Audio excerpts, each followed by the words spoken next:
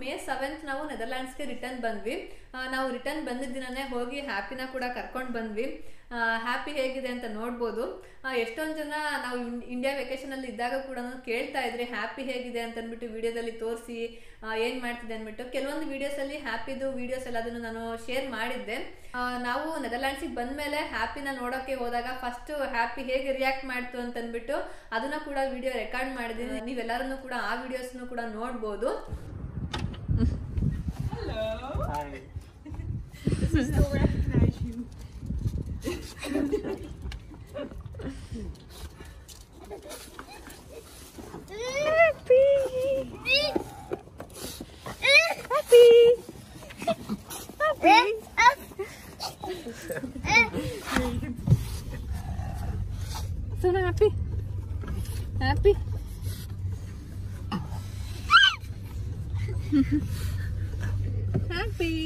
Ah.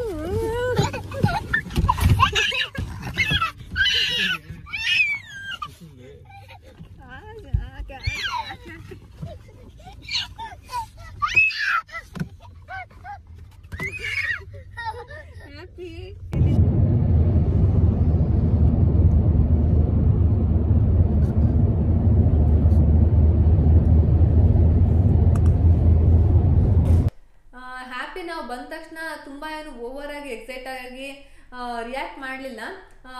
Normal ಆಗಿ ನಮ್ಮನ್ನ recognise ಮಾಡ್ತು, ಮತ್ತೆ ನಮ್, ನಾವು ಬಂದಾಗ ಖುಷಿ ಪಡ್ತು.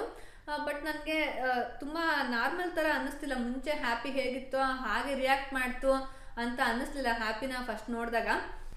ನಮ್ಮ ಪಾಪುನು ಕೂಡ ಹ್ಯಾಪಿನ ನೋಡಿದ ತಕ್ಷಣ ತುಂಬಾನೇ ಖುಷಿ ಪಟ್ಟ. ಅವನು ಹ್ಯಾಪಿನ ಮಾತಾಡಿಸ್ಬೇಕು ಅಂತ ತುಂಬಾ ಎಕ್ಸೈಟೆಡ್ ಆಗಿ, ನನ್ನ ಮಾತಾಡಿಸ್ಲಿ ಅಂತ ಅಂದ್ಬಿಟ್ಟು ಎಕ್ಸ್ಪೆಕ್ಟ್ ಮಾಡ್ತಾ ಇದ್ದ. ಅವನು ಕೂಡ ಹ್ಯಾಪಿನ ನೋಡಿ ತುಂಬಾನೇ ಖುಷಿ ಆಯ್ತು. ನಾವಂತೂ ತುಂಬಾನೇ ಮಿಸ್ ಮಾಡ್ಕೊತಾ ಇದ್ವಿ ಇಂಡಿಯಾದಲ್ಲಿದ್ದಾಗ ಹ್ಯಾಪಿನ ಅದರಲ್ಲೂ ನಾವು ಬರ್ಬೇಕಾದ್ರಂತೂ ಹ್ಯಾಪಿನ ತುಂಬಾ ಸರಿ ನೆನೆಸ್ಕೊಂಡ್ವಿ. ನೋಡಿದಾಗ ಹೆಂಗ ಅನ್ಸುತ್ತೆ, ಎಷ್ಟು ಎಕ್ಸೈಟೆಡ್ ಆಗಿ ಹ್ಯಾಪಿ ಮೀಟ್ ಮಾಡುತ್ತೆ ಅಂತ.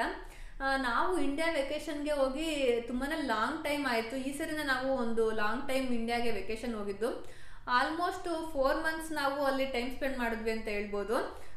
ಈ ಮೇ ಫೋರ್ಟೀನ್ತ್ ಮೇ ಫಿಫ್ಟೀನ್ತ್ ಬಂದರೆ ನಾವು ಹೋಗಿ ಫೋರ್ ಮಂತ್ಸ್ ಆಗುತ್ತೆ ನಾವು ಇಂಡಿಯಾಗೆ ಹೋಗಿ. ಸೊ ಇದೊಂದು ಲಾಂಗ್ ಟೈಮ್ ಹ್ಯಾಪಿನ ನಾವು ಡಾಗ್ ಸಿಟರ್ ಹತ್ರ ಬಿಟ್ಟು ಹೋಗಿದ್ದು. ಇಷ್ಟು ದಿನ ಬಿಟ್ಟು ಹೋಗಿರಲಿಲ್ಲ. ನಾರ್ಮಲ್ ಆಗಿ ನಾವು ಇಂಡಿಯಾ ವೆಕೇಶನ್ ಒಂದು ಟ್ವೆಂಟಿ ಡೇಸ್ ಅಥವಾ ಟ್ವೆಂಟಿ ಫೈವ್ ಡೇಸ್ ಹೋಗ್ತಾ ಇದ್ವಿ ಅಷ್ಟೇ. ಹ್ಯಾಪಿ ಅಷ್ಟು ದಿನ ಅಷ್ಟೇ ಡಾಗ್ ಸಿಟರ್ ಹೌಸಲ್ಲಿ ಇರ್ತಿತ್ತು. ಹಾಗಾಗಿ ನಾವು ರಿಟರ್ನ್ ಬಂದಾಗ ತುಂಬ ಏನು ಗ್ಯಾಪ್ ಅಂತ ಅನ್ನಿಸ್ತಿರ್ಲಿಲ್ಲ ಬಟ್ ಈ ಸರಿ ತುಂಬ ಲಾಂಗ್ ಗ್ಯಾಪ್ ಆಗಿದ್ರಿಂದ ಹ್ಯಾಪಿಗೆ ತುಂಬಾ ಬೇಜಾರಾಗಿದೆ ಅಂತ ಅನ್ನಿಸ್ತು. ಆಮೇಲೆ ತುಂಬಾ ಸಣ್ಣ ಆಗಿಬಿಟ್ಟಿದೆ ಅಲ್ಲಿಗೆ ಹೋದಾಗ. ಹ್ಯಾಪಿನ ನೋಡ್ಬೋದು ನೀವು. ನಿಂಚು ಹ್ಯಾಪಿ. ಇಲ್ವಾ ಅಂದರೆ ರೆಗ್ಯುಲರ್ ಆಗಿ ವಿಡಿಯೋಸ್ ನೋಡೋರಿಗೆ ಗೊತ್ತಾಗುತ್ತೆ ಅಂತ ಅನ್ಕೊಂತೀವಿ. ನಾವು ಹ್ಯಾಪಿನ ಡೈರೆಕ್ಟಾಗಿ ನೋಡಿದ ತಕ್ಷಣ ನನಗೆ ಒಂಥರ ಬೇಜಾರು ಅಂತ ಅನ್ನಿಸ್ತು. ಅಂದರೆ ತುಂಬಾ ದಪ್ಪ ಇತ್ತು ಹ್ಯಾಪಿ. ಅದರಲ್ಲೂ ಇಲ್ಲಿ ತುಂಬಾ ಸಣ್ಣ ಆಗಿದೆ. ಹೊಟ್ಟೆ ಹತ್ರ ನೋಡಿದ್ರೆ ಕಾಣಿಸುತ್ತೆ. ಮತ್ತು ಇಲ್ಲಿ ಎಲ್ಲ ಮೂಳೆ ಎಲ್ಲ ನಮಗೆ ಡೈರೆಕ್ಟಾಗೂ ಕಾಣಿಸ್ತಾ ಇದೆ. ಡೈರೆಕ್ಟಾಗಿ ನೋಡಿದಾಗ ಮತ್ತೆ ಮುಟ್ಟಿದ್ರೂ ಫೀಲ್ ಆಗ್ತಾ ಇದೆ. ಮೂಳೆ ಎಲ್ಲ ಕೈಗೆ ಸಿಗ್ತಾ ಇದೆ. ಅಷ್ಟು ಸಣ್ಣ ಆಗಿಬಿಟ್ಟಿದೆ. ನಮಗೆ ನೋಡಿ ತುಂಬಾ ಬೇಜಾರಾಗೋಯ್ತು. ಅಂದರೆ ಊಟ ಎಲ್ಲ ಸ್ಟ್ರಿಕ್ಟ್ ಆಗಿ ನಾವು ಎಷ್ಟು ಹೇಳಿದ್ವೋ ಅಷ್ಟೇ ಹಾಕಿದ್ದಾರೆ. ನಾವು ಮನೇಲಿದ್ದಾಗ ಏನು ಮಾಡ್ತೀವಿ? ನಾವು ಏನಾದ್ರು ತಿನ್ಬೇಕಾದ್ರೆ ಸ್ವಲ್ಪ ಹ್ಯಾಪಿ ಕೇಳಿದಾಗ ಕೊಡ್ತೀವಿ ಏನಾದರೂ. ನಾವು ತಿನ್ಬೇಕಾದ್ರೆ ಊಟ ಎಲ್ಲ ಕೊಡ್ತಾ ಇರ್ತೀವಿ. ಅವರು ಆ ಥರ ಏನು ಎಕ್ಸ್ಟ್ರಾ ಕೊಟ್ಟಿಲ್ಲ ಅಂತ ಅನ್ಕೊಂತೀನಿ. ಮತ್ತು ನಾವು ಹ್ಯಾಪಿಗೆ ಸ್ನ್ಯಾಕ್ಸ್ ಎಲ್ಲದನ್ನು ಕೊಟ್ಟಿದ್ವಿ. ಹ್ಯಾಪಿಗೆ ಕೊಡೋದಕ್ಕೆ ಈವ್ನಿಂಗ್ ಟೈಮ್ ಅಂತ ಅಂದ್ಬಿಟ್ಟು ಹೇಳಿದ್ವಿ. ಬಟ್ ನಾವು ಕೊಟ್ಟಿದ್ದು ಒಂದು ಒಂದೂವರೆ ತಿಂಗಳಿಗೆ ಆಗೋಷ್ಟು ಸ್ನ್ಯಾಕ್ಸ್ ಅಷ್ಟೇ ಕೊಟ್ಟಿದ್ವಿ. ಬಟ್ ನಾವು ಫೋರ್ ಮಂತ್ಸ್ ಬಿಟ್ಟಿದ್ರು ಕೂಡ ಆ ಸ್ನ್ಯಾಕ್ಸ್ ನಾವೇನು ಕೊಟ್ಟಿದ್ವಿ ಅದನ್ನ ವಾಪಸ್ ಕಳಿಸಿದ್ದಾರೆ. ಇನ್ನೂ ಸ್ನ್ಯಾಕ್ಸ್ ಎಲ್ಲ ಹಾಗೆ ಇದೆ ನಾವು ಕೊಟ್ಟಿದ್ದು. ಅಂದರೆ ಏನು ಕೊಟ್ಟೇ ಇಲ್ಲ ಹ್ಯಾಪಿಗೆ ಸ್ನ್ಯಾಕ್ಸ್ ಎಲ್ಲ ಅದನ್ನು ಕೂಡ ಅವರು. ಅದಕ್ಕೆ ಸ್ವಲ್ಪ ಸಣ್ಣ ಆಗಿದೆ ಅಂತ ಅನ್ಕೊಂತೀನಿ. ಮತ್ತೆ ಜಾಸ್ತಿನೂ ಯೋಚನೆ ಮಾಡಿದೆ ಅಂತ ಅನ್ಸುತ್ತೆ ನಮ್ಮ ಬಗ್ಗೆ. ಅಂದರೆ ಇಷ್ಟು ದಿನ ಬಿಟ್ಟೋದ್ರು, ನನ್ನ ಬಿಟ್ಟೋಗ್ಬಿಟ್ಟಿದ್ದಾರೆ ಎಲ್ಲೋ. ಇನ್ನು ಬರಲ್ಲ ಅಂತ ಅನ್ಸ್, ಅನ್ಕೊಂಡಿದ್ದೆ ಹ್ಯಾಪಿ ಹಾಗಾಗಿ ತುಂಬ ಯೋಚನೆ ಮಾಡಿ ಸಣ್ಣ ಆಗಿದೆ ಅಂತ ಅನ್ಸುತ್ತೆ. ಸ್ವಲ್ಪ ಡಿಪ್ರೆಸ್ ಆಗಿರೋ ಥರನೂ ಕಾಣಿಸ್ತಾ ಇದೆ ಹ್ಯಾಪಿ ಅಂದರೆ ಮುಂಚೆ ಇದ್ದ ಥರ ಎಕ್ಸೈಟಿಂಗ್ ಆಗಿ ನಾವು ಬಂದರೆ ಖುಷಿ ಪಡೋದು, ಅಥವಾ ಏನಾದ್ರು ಬೇಡ ಅಂದರೆ ಜಂಪ್ ಮಾಡೋದು ಎಲ್ಲ ಮಾಡ್ತಾ ಇತ್ತು. ಆ ಥರ ಇವಾಗ ಯಾವುದು ಮಾಡ್ತಾ ಇಲ್ಲ. ಸುಮ್ಮನೆ ಒಂದು ಕಡೆ ಮಲಗಿರುತ್ತಷ್ಟೇ ಸೈಲೆಂಟ್ ಆಗಿದೆ. ಅಷ್ಟು ಆಕ್ಟಿವ್ ಆಗಿಲ್ಲ ಅಂತ ಹೇಳ್ಬೋದು. ನಮಗೆ ನೋಡಿ ನಮ್ಮ ಹ್ಯಾಪಿನ ಇದು ಅಂತ ಅನ್ನಿಸ್ತಾ ಇದೆ, ಆ ಥರ ಆಗ್ಬಿಟ್ಟಿದೆ. ನಮಗೂ ಬೇಜಾರು ಅಂತ ಅನಿಸ್ತಿದೆ ಸಣ್ಣ ಆಗಿರೋದು ನೋಡಿದ್ರೆ ನನಗೆ ಜಾಸ್ತಿ ಬೇಜಾರು ಅಂತ ಅನಿಸ್ತದೆ ಏನಕ್ಕೆ ಇಷ್ಟು ಸಣ್ಣ ಮಾಡಿಬಿಟ್ಟಿದ್ದಾರೆ ಅಂತ? ಪಗ್ ಯೂಶಲ್ ಆಗಿ ಒಂದು ಲೆವೆನ್ ಕೆ ಜಿ ಅಷ್ಟು ವೆಯ್ಟ್ ಇರಬೇಕು. ನಮ್ಮ ಹ್ಯಾಪಿ ಫೋರ್ಟೀನ್ ಕೆ ಜಿ ಇತ್ತು ನಾವು ಅವ್ರ ಮನೆಗೆ ಬಿಡಬೇಕಾದ್ರೆ. ಅಂದರೆ ಓವರ್ ವೆಯ್ಟೇ ಇತ್ತು ಹ್ಯಾಪಿ ನಮಗೂ ಕೂಡ ಏನೇ ಡಯಟ್ ಮಾಡಿಸಿದ್ರು ಸಣ್ಣ ಮಾಡೋಕ್ಕಾಗ್ತಾ ಇರಲಿಲ್ಲ. ಒಂದು ಒಳ್ಳೆ ವೆಯ್ಟೇ ಇದೆ ಬಟ್ ಮೂಳೆ ಎಲ್ಲ ಕಾಣಿಸ್ತಿರೋದು ಒಂಥರ ಅಷ್ಟು ಇಷ್ಟ ಆಗಲಿಲ್ಲ. ಹ್ಯಾಪಿ ಇವಾಗ ವೆಯ್ಟ್ ಚೆಕ್ ಮಾಡಿದ್ವಿ. Nine point six K G ಇದೆ. ಇಷ್ಟು ಕಡಿಮೆ ವೆಯ್ಟು ಹ್ಯಾಪಿ ಇರಲಿಲ್ಲ ಯಾವತ್ತೂ ಒಂದು ತರ್ಟೀನ್ ಫೋರ್ಟೀನ್ ಕೆ ಜಿ ಅಷ್ಟೇ ಇದ್ದಿದ್ದು. ಬಟ್ ಈಗ ಟೆನ್ ಕೆ ಜಿ ಒಳಗಡೆ ಬಂದಿರೋದು ತುಂಬಾ ಕಮ್ಮಿ ವೆಯ್ಟ್ ಆಗಿದೆ ಅಂತ ಅನ್ನಿಸ್ತಾ ಇದೆ. ಒಂದು ಒಂದು ವಾರ, ಒಂದು ಫಿಫ್ಟೀನ್ ಡೇಸ್ ಹೋದರೆ ಮತ್ತೆ ಹೊಂದ್ಕೊಳ್ಳುತ್ತೆ ಅಂತ ಅಂದ್ಕೊಂಡಿದ್ದೀವಿ ಮನೆಗೆ ಬಂದಮೇಲೂ ಅಷ್ಟೇ ನಮ್ಮ ಜೊತೆ ಮಲ್ಕೊಬೇಕಾದ್ರೂ ಅಷ್ಟೇ, ಮುಂಚೆ ಎಲ್ಲ ಖುಷಿಯಾಗಿ ಎಲ್ಲ ಮಲ್ಕೊಂತಿತ್ತಲ್ಲ ಆ ಥರ ಇಲ್ಲ. ಒಂದು ಸ್ವಲ್ಪ ಡೀಪ್ ಸ್ಲೀಪ್ ಮಾಡೋದು, ಅದೆಲ್ಲ ಇಲ್ಲ. ಒಂದು ಸ್ವಲ್ಪ ಶಾರ್ಟ್ ನ್ಯಾಪ್ ಥರ ಮಾಡ್ತಾ ಇರುತ್ತೆ ಅಷ್ಟೇ. ಅವರು ಡಾಗ್ ಸಿಟ್ಟರ್ ಚೆನ್ನಾಗೇ ನೋಡ್ಕೊಂಡಿದ್ದಾರೆ ಹ್ಯಾಪಿನ, ಯಾಕಂದರೆ ಎಷ್ಟೊಂದು ಡಾಗ್ಸ್ ಕೂಡ ಅವ್ರ ಮನೆಯಲ್ಲಿ ಇರುತ್ತಿತ್ತು ಬೇರೆ ಡಾಗ್ಸ್ಗಳನ್ನೂ ಕೂಡ ಅವರು ನೋಡ್ಕೊತಾರೆ.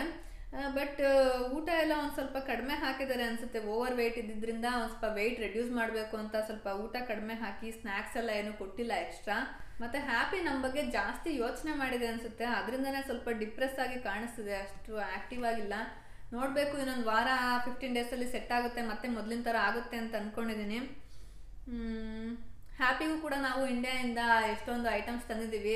ಸ್ನ್ಯಾಕ್ಸ್ ಮತ್ತು ಹ್ಯಾಪಿಗೆ ಕ್ಲಾತ್ ಮತ್ತು ಶೂಸ್ ಎಲ್ಲ ತೊಗೊಂಡು ಬಂದಿದ್ದೀವಿ. ಅದನ್ನೆಲ್ಲ ಏನೇನು ತೊಗೊಂಡು ಬಂದಿದ್ದೀವಿ ಅದನ್ನೆಲ್ಲದನ್ನು ಕೂಡ ನಿಮಗೆ ತೋರಿಸ್ತೀನಿ. ಮತ್ತು ತಮ್ಮನೇಲಲ್ಲಿ ನಾನು ಒಂದು ಗುಡ್ ನ್ಯೂಸ್ ಕೂಡ ಇದೆ ಅಂತ ಅಂದ್ಬಿಟ್ಟು ಶೇರ್ ಮಾಡಿದ್ದೆ. ಏನು ಅಂತ ಅಂದ್ಬಿಟ್ಟು ನಾನು ಇವಾಗ ಹೇಳ್ತಾ ಇದ್ದೀನಿ.